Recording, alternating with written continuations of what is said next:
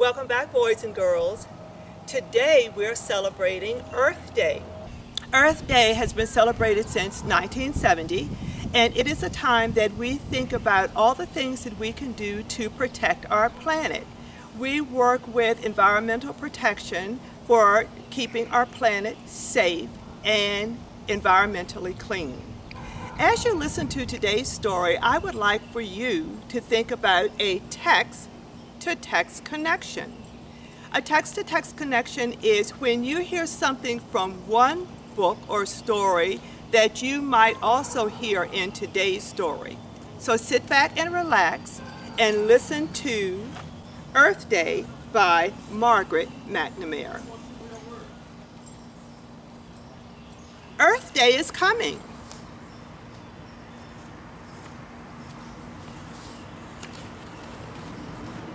The banners in Mrs. Connor's class read, Save the Earth. But Emma did not know how.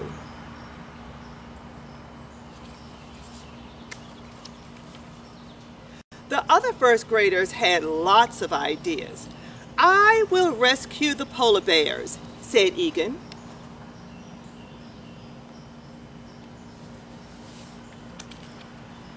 I will plant a forest, said Katie. I will save the dolphins, said Michael.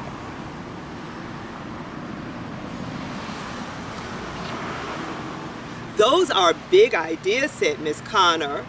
What ideas can you think of? When Emma went home, she was sad. I cannot save the earth, Emma said to her dad. I do not have any big ideas.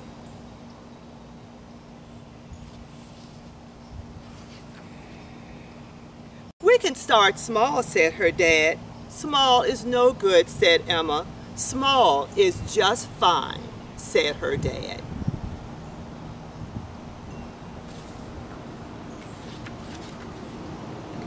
All that week, Emma and her dad did small things to help the earth. They stopped at the farmer's market.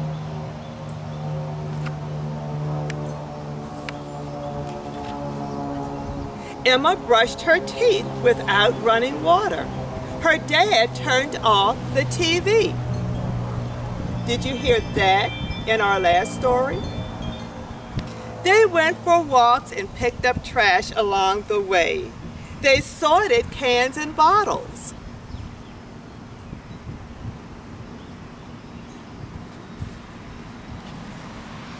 They use their bikes instead of cars.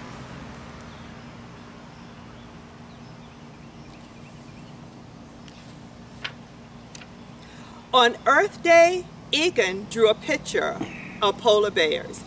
Katie talked about forests.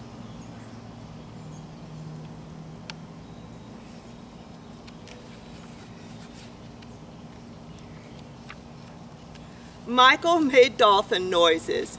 Emma thought about all the things she did with her dad.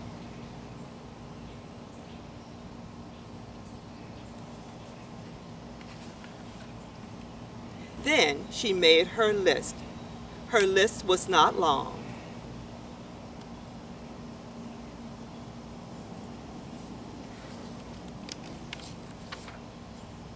From then on, Mrs. Connor's class slowed down.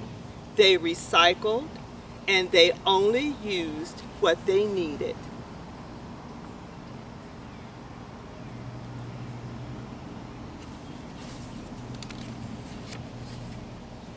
Emma's small ideas are big, said Mrs. Connor. The earth is safe in your hands. Boys and girls, have a happy Earth Day. And remember, help more bees, plant more trees, clean the seas. Have a happy Earth Day.